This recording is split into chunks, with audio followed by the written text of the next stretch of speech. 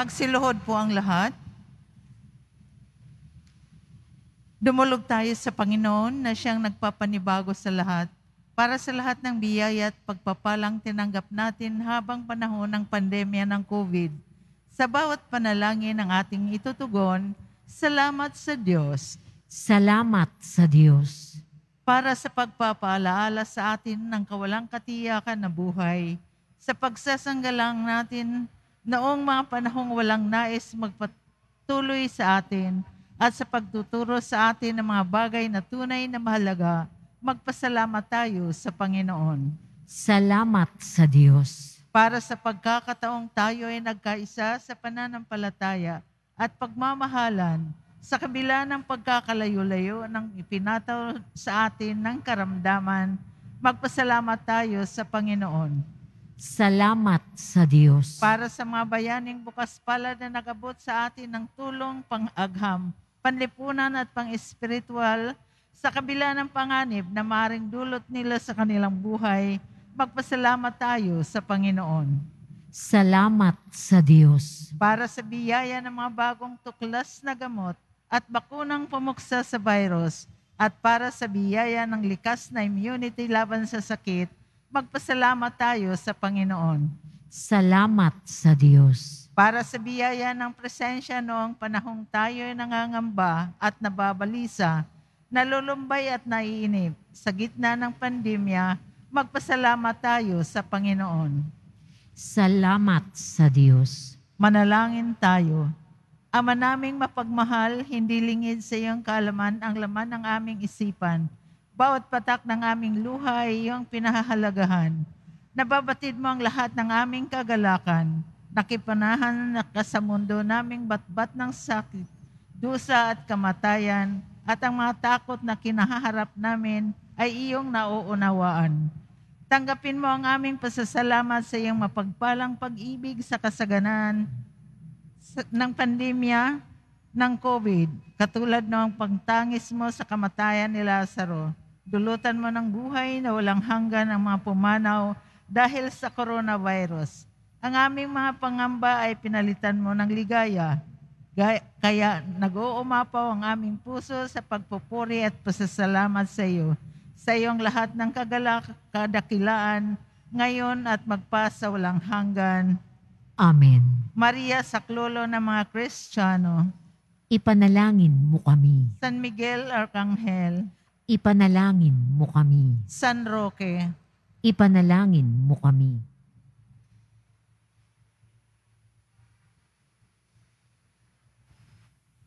magsiupo muna.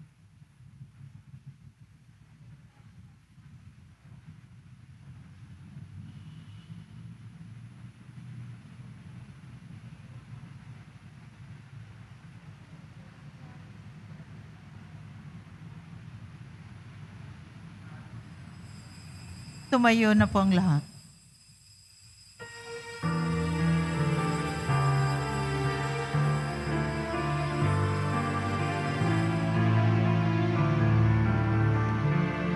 Ako'y kaawakan o mahal kong Diyos sa ngayon sa iyong kagandahang loob.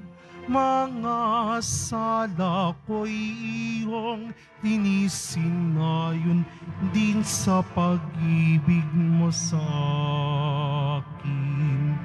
Bubuksan aking puso't isipan Pagsanansang ko'y aking kinikilala Patawarin niya rin kasalanan Ako'y kaawakan o mahal kong Diyos Sa ngayon sa iyong kagandahang loob mga sala ko'y iyong tinisin ayon din sa pag-ibig mo sa akin. Sa ngalan ng Ama at ng Anak at ng Espiritu Santo, Amen. sumainyo ang Panginoon.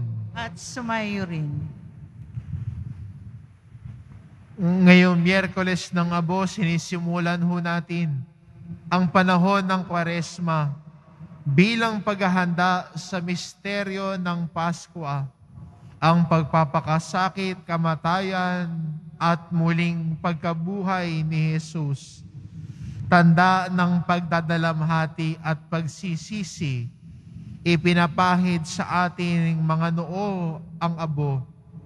Subalit ito'y tanda ng pagsisisi ay dapat na antabayanan ng tapat na pagbabalik loob ng metanoia o pagbabago ng isip at puso. Umasa tayo sa kabutihan at awa ng Diyos sapagkat batid nating hindi sapat ang sarili nating kakayahan.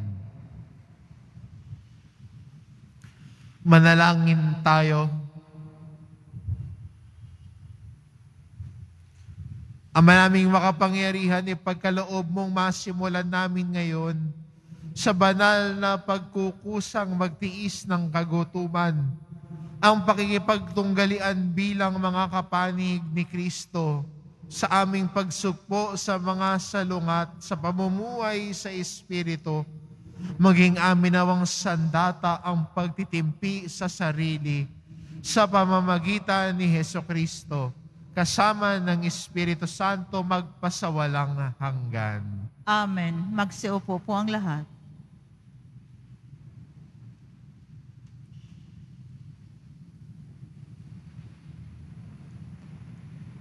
Pagbasa mula sa aklat ni Propeta Joel. Sinasabi ngayon ng Panginoon, mataimtim kayong magsisi at manumbalik sa akin. Kayo'y mag-ayuno, manangis at magdalamhati. Magsisi kayo ng taos sa puso, hindi pakitang tao lamang. Magbalik loob kayo sa Panginoon na inyong Diyos. Siya'y may magandang loob at puspos ng awa, mapagpahinuhod at tapat sa kanyang pangako.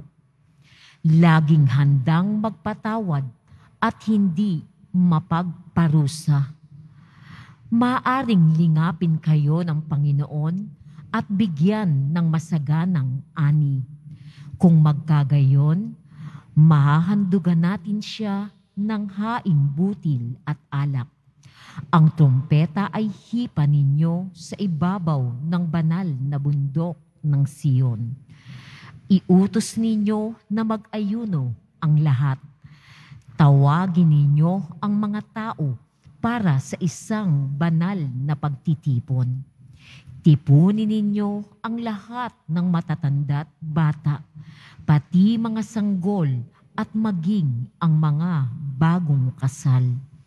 Mga saserdote, kayo'y tumayo sa pagitan ng pasukan ng bandambana. Manangis kayo't manalangin ng ganito. Mahabag ka sa iyong bayan, O Panginoon, huwag mong tulutang kami hamakit pagtawanan ng ibang mga bansa at tanungin, nasaan ang inyong Diyos? Pagkaraay, ipinamalas ng Panginoon na siya'y nagmamalasakit sa kanyang bayan.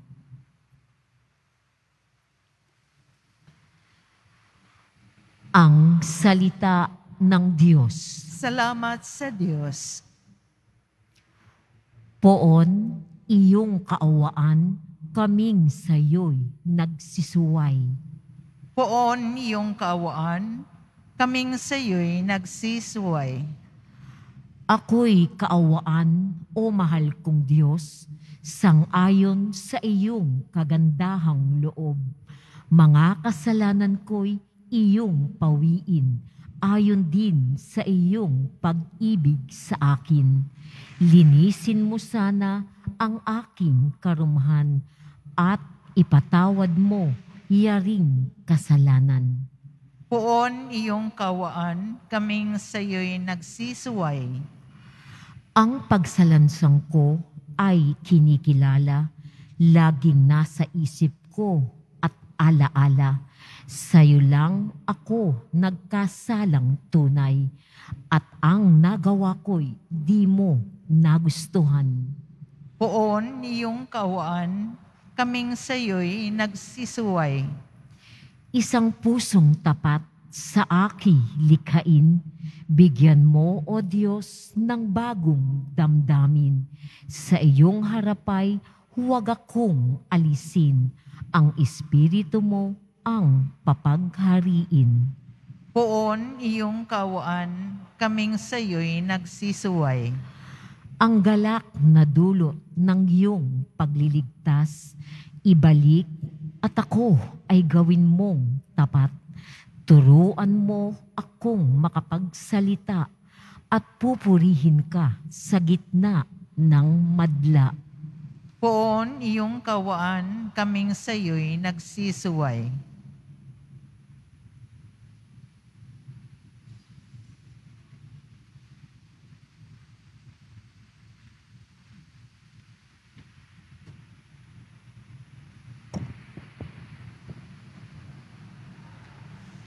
Pagbasa mula sa ikalawang sulat ni Apostol San Pablo sa mga taga-Korinto. Mga kapatid, ako'y sugo ni Kristo. Parang ang Diyos na rin ang namamanhik sa inyo sa pamamagitan ko. Makipagkasundo kayo sa Diyos. Hindi nagkasala si Kristo, ngunit dahil sa atin, siya'y ibinilang na makasalanan upang makipag-isa tayo sa Kanya at mapabanal sa harapan ng Diyos sa pamamagitan niya. Yamang kami mga katulong sa gawain ng Diyos, ipinamamanhik namin sa inyo na huwag ninyong sayangin ang pagkakataong ibinibigay sa atin ng Diyos sapagkat sinasabi niya, sa kaukulang panahon ay pinakinggan kita sa araw ng pagliligtas, sinakluluhan kita. Tingnan ninyo, ngayon na ang panahon na nararapat. Ngayon ang araw ng pagliligtas. Ang salita ng Diyos. Salamat sa Diyos. Magsitayo na po ang lahat.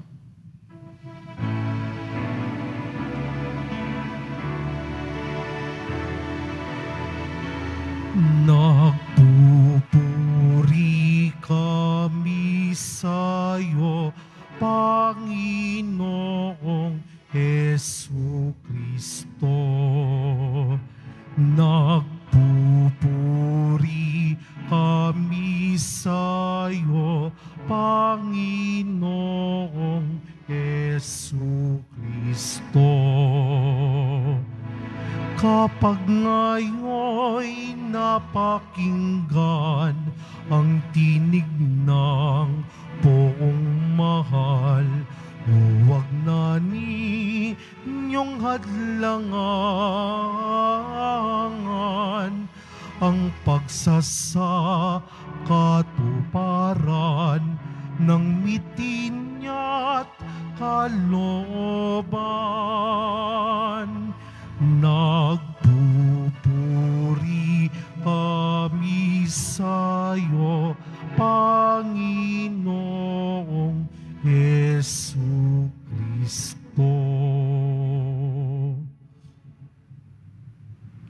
Sumainyo ang Panginoon, At sumayo rin.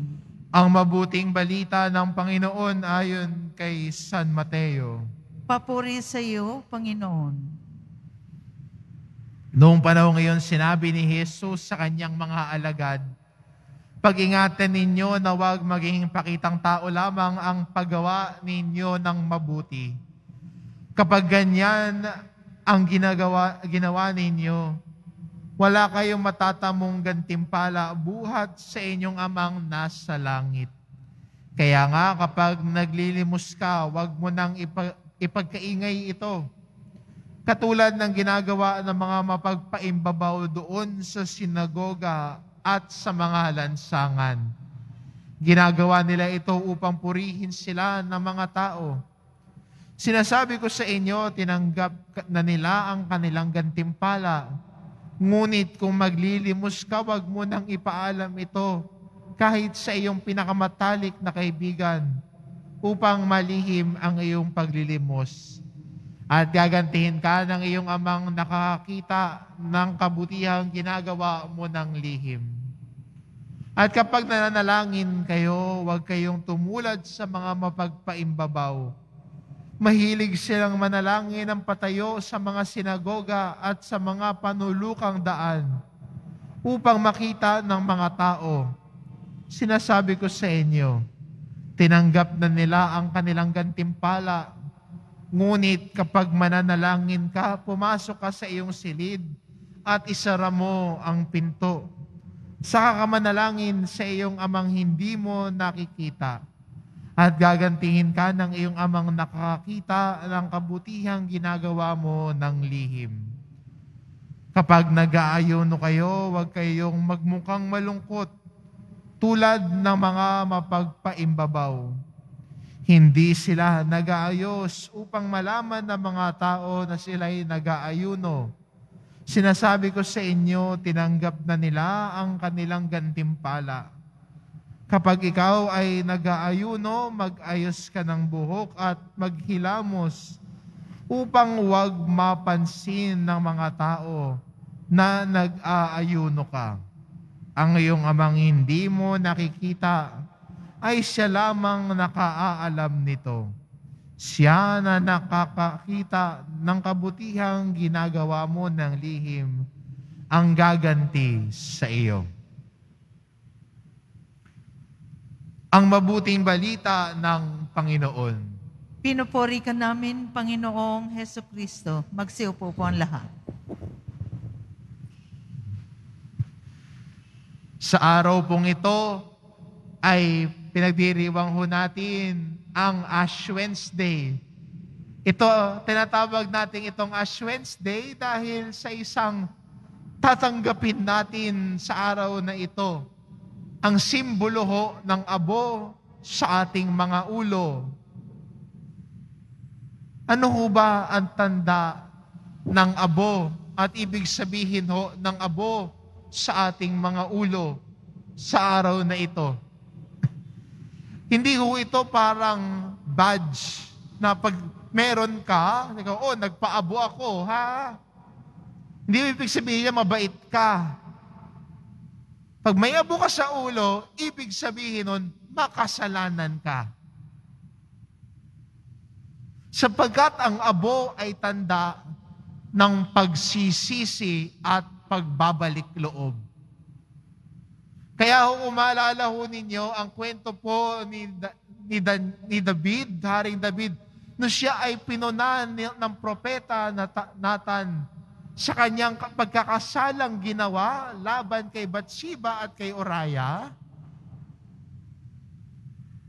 Ano ang ginawa? Si David ay nagbihis ng sako at naglagay ng abo sa ulo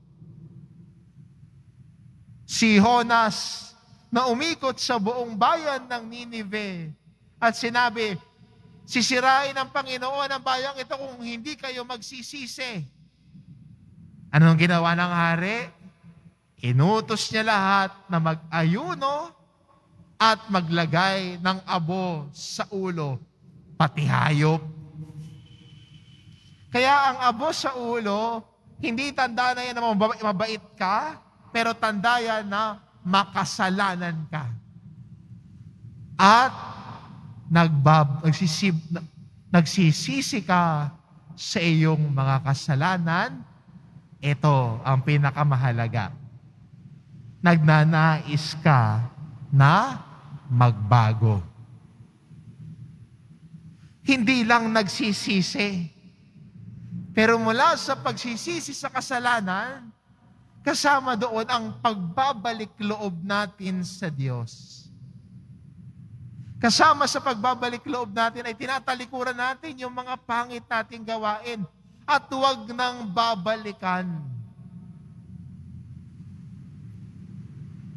Nauso ho dati yung marahil ngayon pa rin, ganun eh.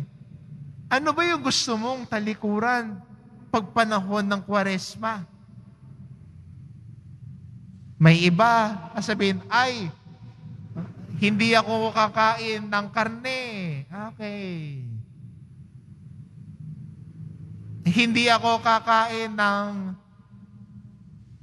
may kilala ko tsokolate. Wala, wala tsokolate buong kwaresma. Walang soft drinks buong kwaresma. Pero, paano pagkatapos na ng kwaresma? Balik na tayo sa dati. Nagbabagong buhay lang ba ito yung panahon ng kwaresma? Maganda ho nating mapansin na pagyaka, pagpasok natin sa panahong ito, may mga bagay tayong gustong baguhin sa sarili natin. At ang kahit anong baguhin natin, huwag mo nang balikan. What can you give up right now? Na napapansin mo nagiging sagabal sa paglago mo bilang isang Kristiyano.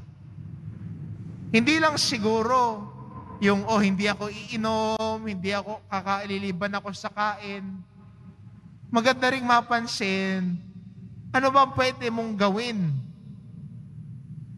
Kung mahilig kang mga chismis at mangsagap ng chismis, give up mo na yan.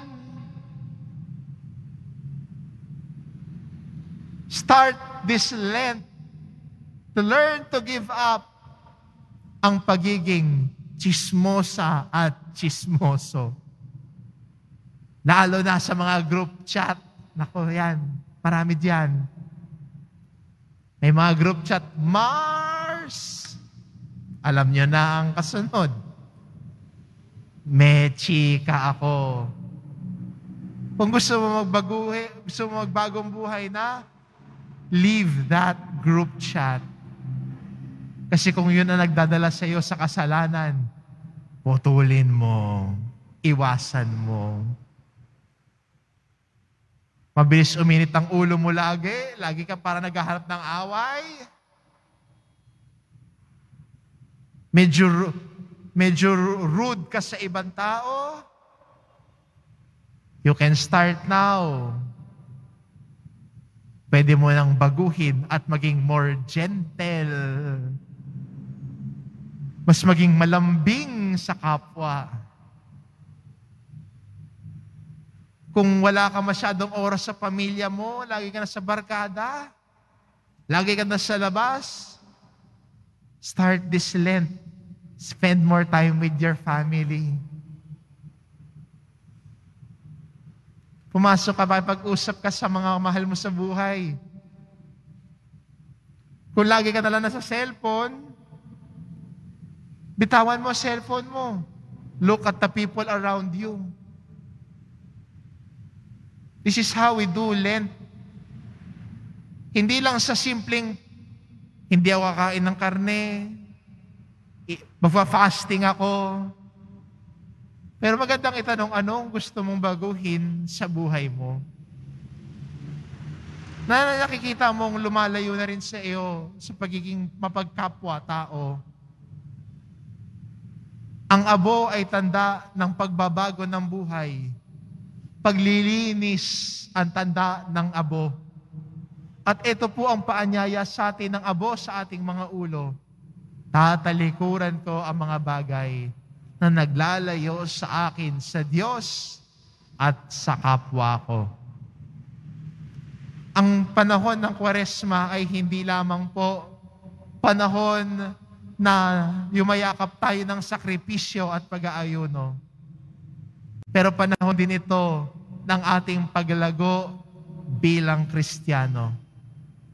Sapagkat ang tao nais lumago sa Panginoon, tinatalikuran ang pangit, yumayakap sa kabutihan.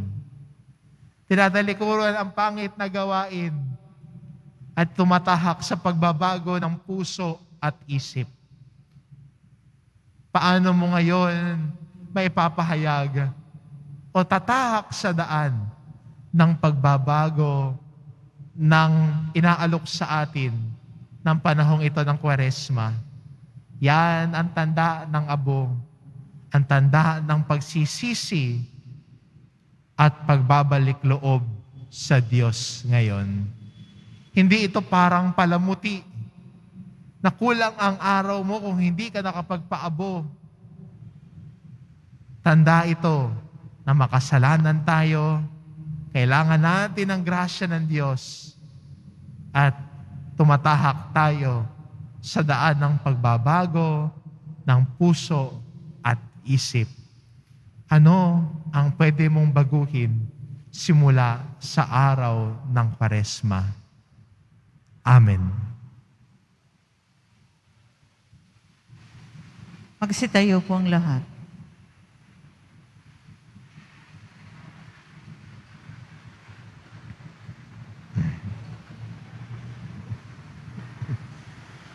Ngayon ay babasbasan natin ang mga abo. Minamahal na mga kapatid, manalangin tayo sa amang may kapal upang abong sa ulo natin ilalagay para ipahaw, ipahiwatig ang pagbabagong buhay ay marapati niyang gawaran ng kanyang pagpapala at malaking pagmamahal. Ama namin mapagpatawad, kinukupkup mo at itinatampok ang umaamin sa kasalanan at ikinalulugod mo ang nagbabagong buhay. Dinggin mo kami at kupkupin at, ipagka, at pagkakaloob mo ng pagpapala bilang pagtatampok sa iyong mga lingkod na naglalagay ng abo sa ulo sa pagganap ng apat na pong araw ng paghahanda para sa Pasko ng pagkabuhay. Marapati mo kami maging dalisay para sa pagdiriwang ng tagumpay ng iyong anak na siyang namamagitan kasama ng Espiritu Santo magpas sa walang hanggan. Amen.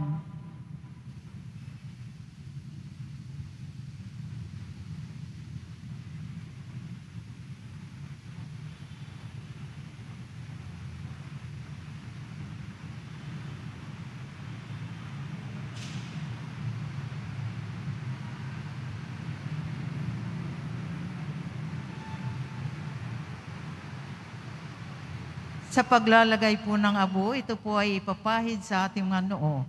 Paunawa lamang po ng mga nakaupo lamang sa pinakaunahan ng ating simbahan ang pipila para malagyan ng pari ng abo sa kanilang noo upang hindi lubos na mantala ang pagdiriwang ng misa. Ang iba naman po ay maaaring lumapit pagkatapos ng misa sa mga tents sa labas ng simbahan sa BPI Quezon Boulevard Plaza San Juan Bautista at Plaza Miranda. Ang ating mga lay ministers ang maglalagay ng abo.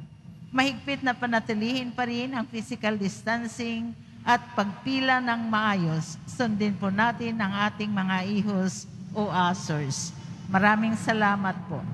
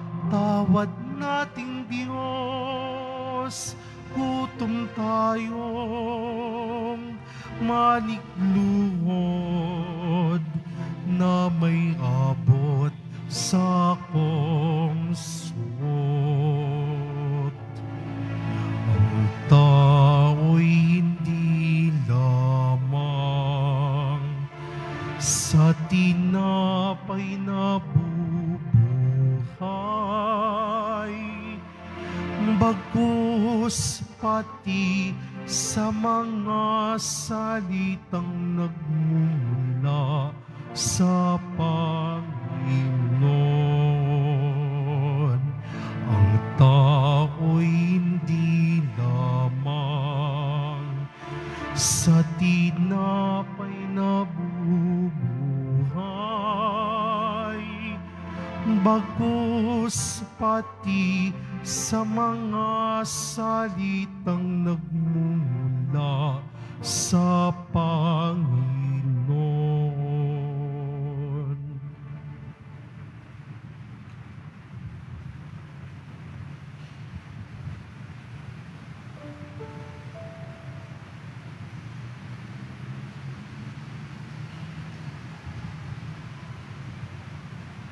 Magsitayo na po ang lahat.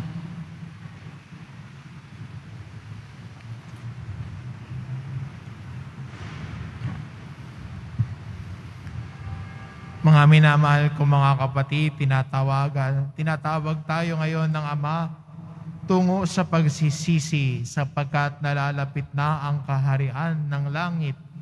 Magbalik loob tayo sa Diyos ng may pagpapakumbaba habang ating sinasabi, O Diyos, Ikaw ang aming muling pagkabuhay. O Diyos, Ikaw ang aming muling pagkabuhay. para sa simbahan.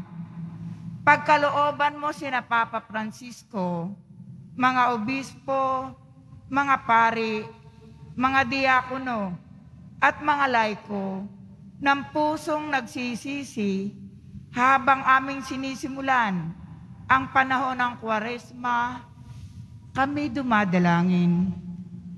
O Diyos, Ikaw ang aming muling pagkabuhay. para sa lahat ng mga lingkod bayan. Bigyan mo sila ng pusong sensitibo sa iyong awa at habag upang sila rin maging salamin ng iyong pag-ibig. Kami dumadalangin. O Diyos, Ikaw ang aming muling pagkabuhay. Para sa aming lahat na nagtitipon ngayon, naway makatagpo kami ng kapanatagan sa iyo, Ama habang aming pinagninilayan ang aming mga pagkukulang sa iyo at sa isa't isa. Kami dumadalangin O Diyos, Ikaw ang aming muling pagkabuhay. Para sa mga dukha, sinisiil at iba pang minorya. Hipuin mo ngayon ang aming mga puso tungo sa pagturing at paglilingkod sa kanila bilang aming mga kapatid, kami dumadalangin O Diyos, Ikaw ang aming muling pagkabuhay. para sa aming mga yumaong mahal sa buhay. Salubungin mo sila, pabalik sa iyong mapagmahal na bisig. Kami dumadalangin. O Diyos, Ikaw ang aming muling pagkabuhay. Itaas din natin ang mga kapatid nating nangangailangan ng panalangin, ang mga pangangailangan ng ating pamayanan, at ang ating personal na mga kahilingan.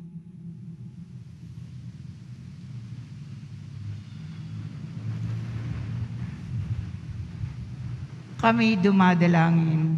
O Diyos, Ikaw ang aming muling pagkabuhay. Ipanumbalik mo kami sa iyong pag-ibig, O Ama, habang aming inihahanda ang aming mga sarili sa dakilang paggunita ng misteryo paskwal ng iyong anak at aming Panginoon. Amen. Magsiupo po ang lahat.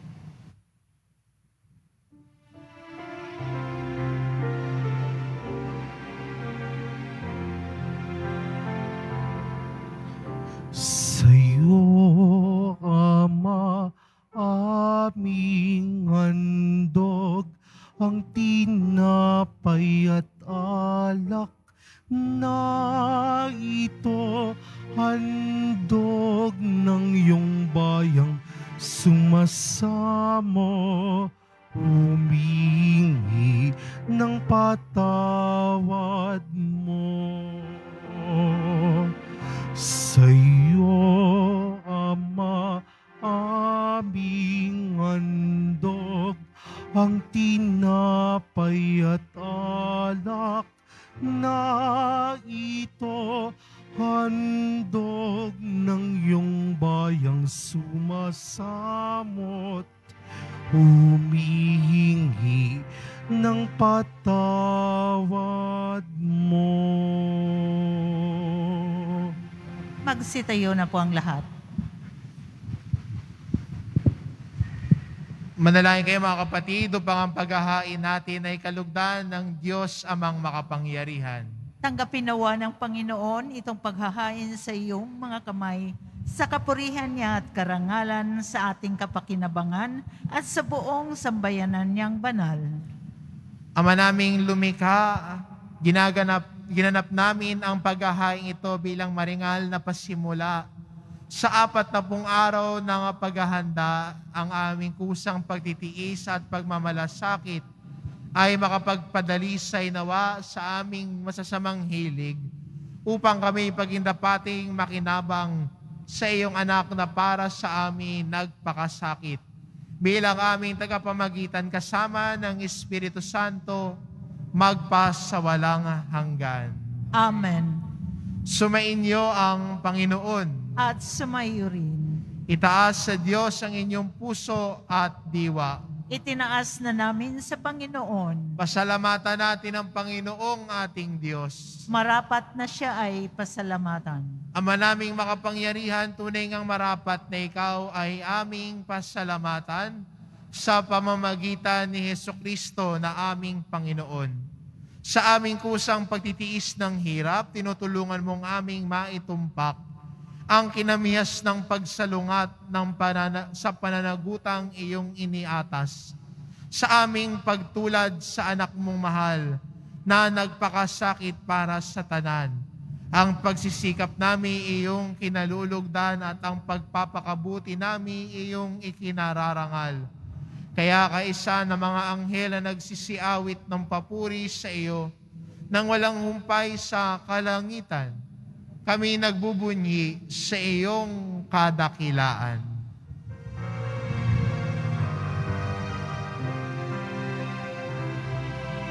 Santo, Santo, Santo, Panginoong Diyos ng mga hukbo, napupuno ang langit at lupa ng kadakilaan mo. Hosana, Hosana, Hosana sa kaitaasan. Hosana, Hosana, Hosana sa kaitaasan. Pinagpala ang naparirito sa ngalan ng Panginoon. Hosana, Hosana, Hosana sa kaitaasan. Hosana, Hosana, Hosana sa kaitaasan. Magsiluhod po ang lahat. Ama naming banal, ikaw ang bukal ng tanang kabanalan, kaya't sa pamamagitan ng iyong Espiritu, gawin mo banal ang kaloob na ito, upang para sa amin maging katawan at dugo ng aming Panginoong Kristo. Bago niya pinagtiis ang kusang loob na maging handog, hinawakan niya ang tinapay. Pinasalamatan kaniya, pinagati-hati niya iyon.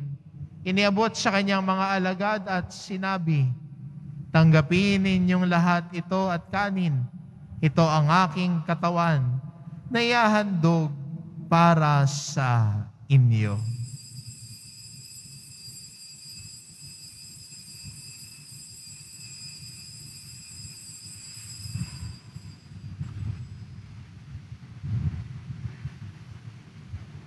Gayun din naman na matapos ang hapunan, hinawakan niya ang kalis, muli kanyang pinasalamatan. Iniabot niya ang kalis sa kanyang mga alagad at sinabi, Tanggapin ninyong lahat ito at inumin. Ito ang kalis ng aking dugo ng bago at walang hanggang tipan. Ang aking dugo na ibubuhos para sa inyo at para sa lahat sa ikapagpapatawad ng mga kasalanan. Gawin ninyo ito sa pag-alala sa akin.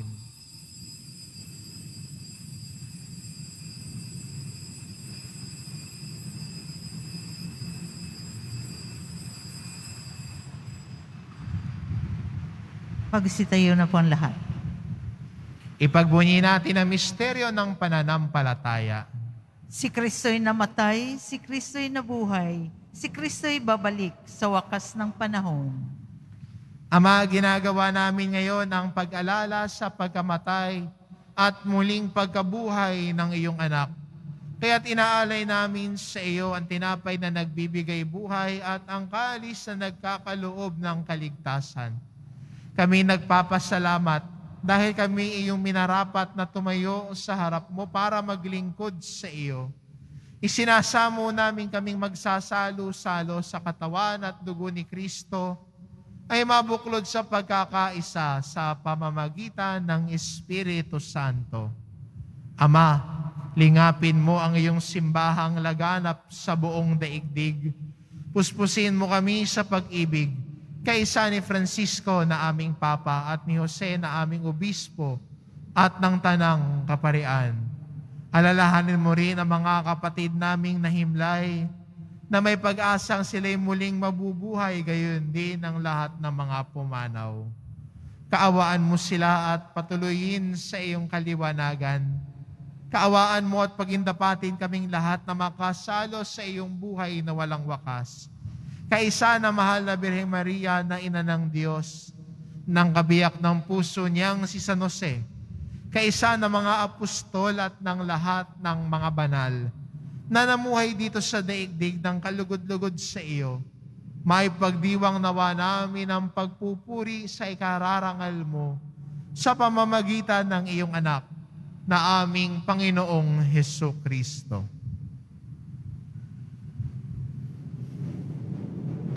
Sa pamamagitan ni Kristo kasama niya at sa Kanya, ang lahat ng parangal at papuri ay sa iyo.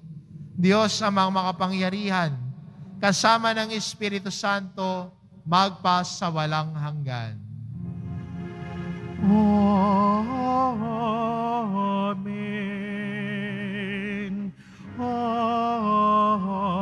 Amen. Sa tagubilin ng mga nakagagaling na utos at turo ni Jesus na Panginoon natin at Diyos, ipahayag natin ng lakas loob. Ama namin, sumasalangit ka. Sambahin ang ngalan mo. Mapasa amin ang kaharian mo. Sundin ang loob mo dito sa lupa para nang sa langit. Bigyan mo kami ngayon ng aming kakanin sa araw-araw at patawarin mo kami sa aming mga sala para ng pagpapatawad namin sa nagkakasala sa amin at huwag mo kaming ipahintulot sa tukso at iadya mo kami sa lahat ng masama. Hinihiling namin kami adya sa lahat ng masama pagkalooban ng kapayapaan araw-araw. Iligtas sa kasalanan at ilayo sa lahat ng kapahamakan. Samantalang aming pinananabikan ang dakilang araw ng pagpapahayag ng tagapagligtas naming si Heso Kristo. sapagkat iyo ang kaharian at ang kapangyarihan at ang kapurihan magpakailanman. Amen. Panginoong Kristo, sinabi mo sa iyong mga apostol, kapayapaan ang iniiwan ko sa inyo, ang aking kapayapaan, ang ibinibigay ko sa inyo. Tungayan mo ang aming pananampalataya at huwag ang aming pagkakasala. Pagkalooban mo kami ng kapayapaan at pagkakaisa. Ayon sa iyong kalooban, kasama ng Espiritu Santo, magpasawalang hanggan. Amen. Ang kapayapa ang kapayapaan ng Panginoon ay laging sumainyo. At sumaiyo rin. Magbigayan kayo ng kapayapaan sa isa't isa. Kordero ng Diyos na nagalis ng mga kasalanan ng sanlibutan, mawa ka sa amin. Kordero ng Diyos na nagalis ng mga kasalanan ng sanlibutan, mawa ka sa amin. Kordero ng Diyos na nagalis ng mga kasalanan ng sanlibutan, ipagkaloob mo sa amin ang kapayapaan. Magsiluhod po ang lahat.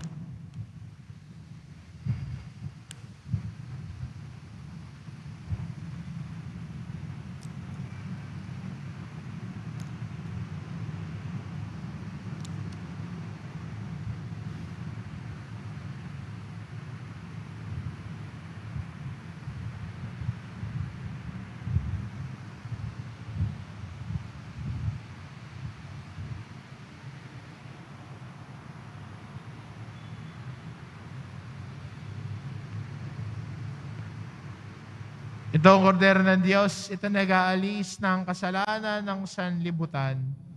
Mapalad ang mga inaanyayahan sa kaniyang piging. Panginoon, hindi ako karapat dapat na magpatuloy sa iyo. Ngunit sa isang salita mo lamang ay gagaling na ako.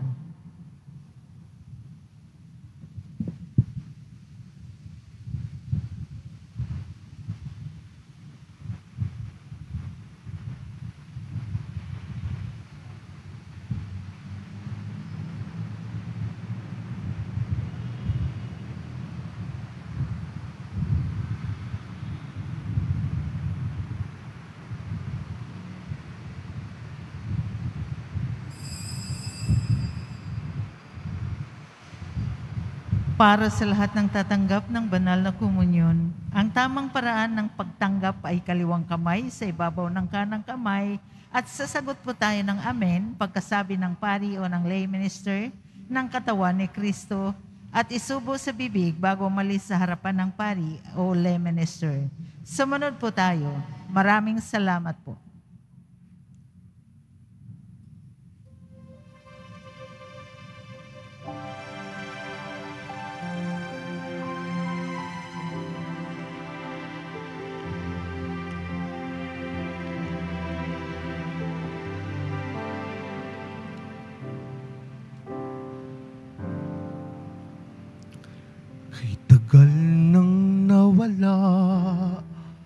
Ang apoy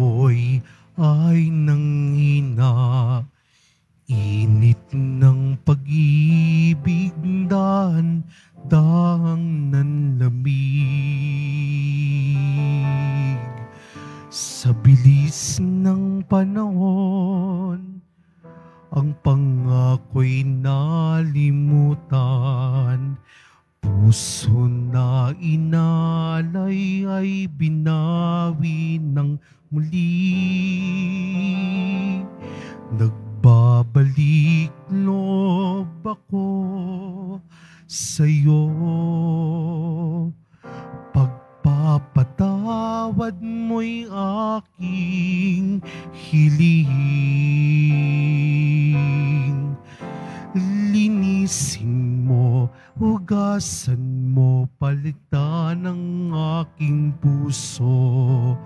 Oh, nagbabalik loob ako, nagbabalik loob ako, nagbabalik loob ako, Jesus.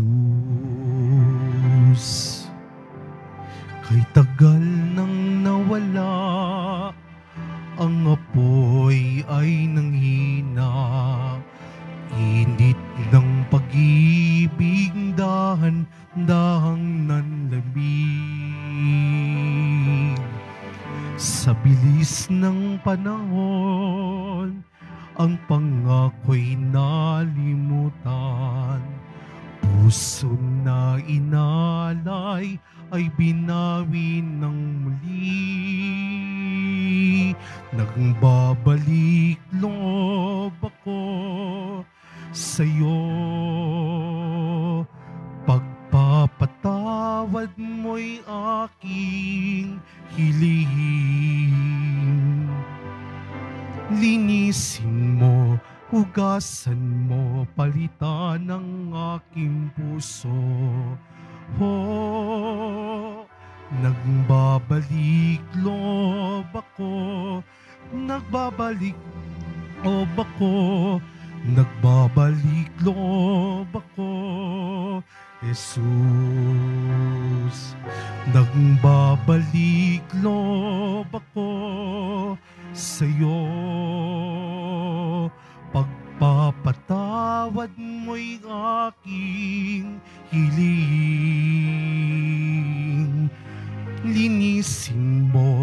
Hugasan mo, palitan ng aking puso.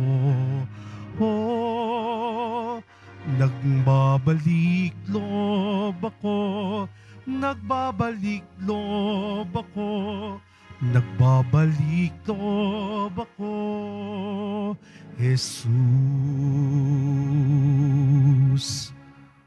Pagkatapos ng misa, maaari na pong lumapit sa mga tents sa labas ng simbahan sa BPI Quezon Boulevard, Plaza San Juan Bautista at Plaza Miranda. Ang ating mga lay ministers ang maglalagay ng abo.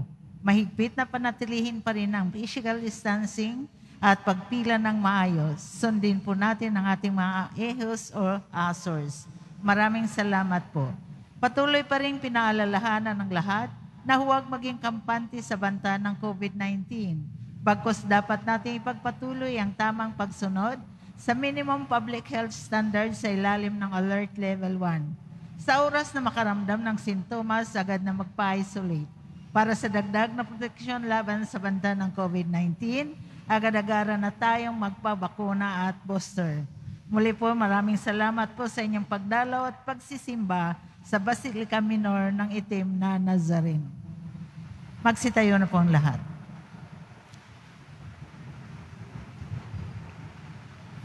Manalangin tayo.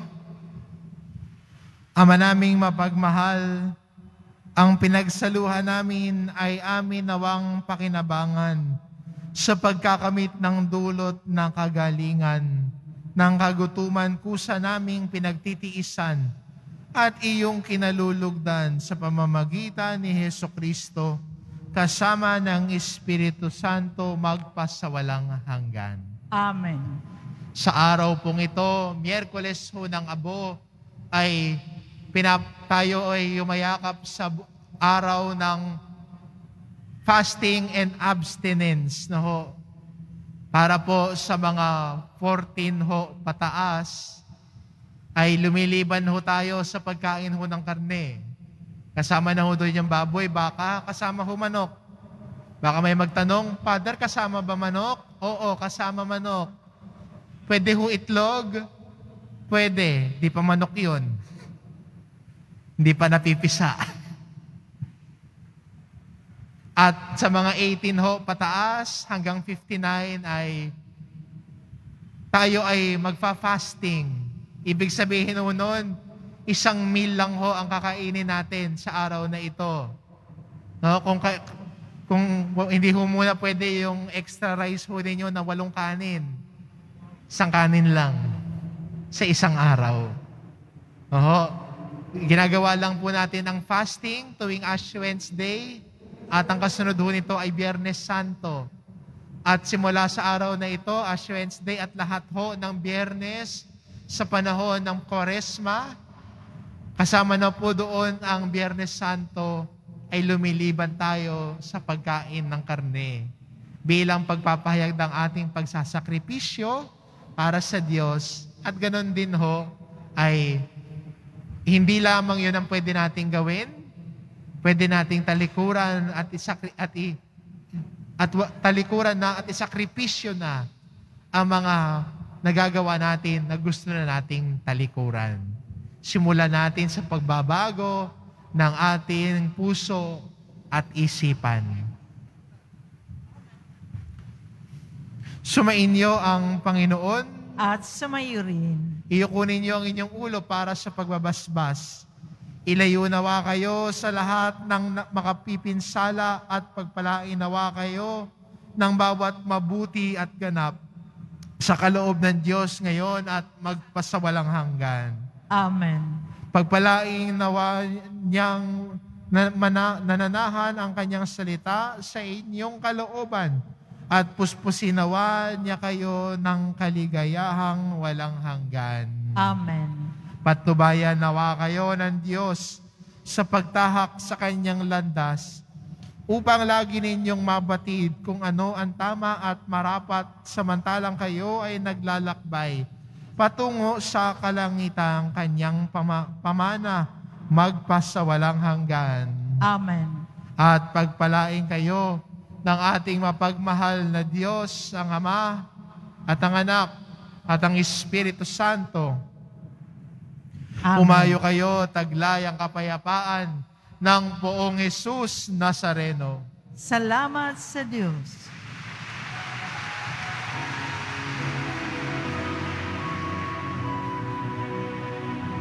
Nuestro Padre Jesus Nazareno, sinasamba ka namin. Pinipintuho ka namin. Aral mo ang aming buhay at kaligtasan. Nuestro Padre Jesus Nazareno, iligtas mo kami sa kasalanan. Ang krus mong kinamatayan ay sagisag ng aming kaligtasan. Nuestro Padre Jesus Nazareno, dinarangal ka namin.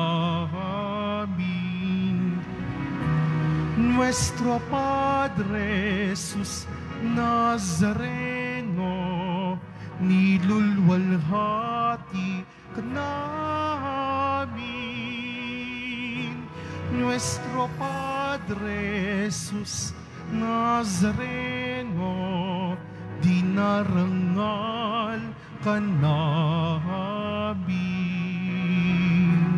Nuestro Padre Jesus Nazareno, nilulwalhati ka namin.